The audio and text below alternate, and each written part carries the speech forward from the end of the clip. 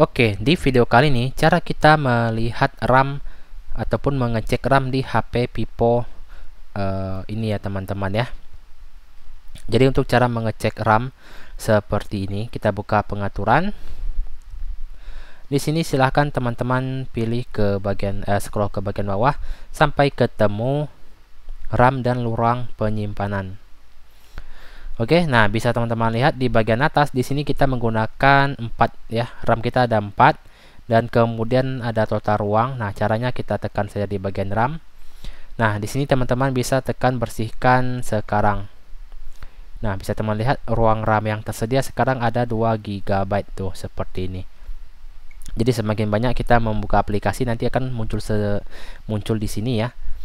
Nah, nanti uh, kita juga bisa bersihkan ya supaya lebih ringan aja. Oke seperti ini cara kita untuk melihat ataupun mengecek RAM di HP Vivo ini ya teman-teman ya. Semoga video singkat ini bermanfaat. Dan buat teman-teman yang ada pertanyaan silahkan komen saja di bawah ini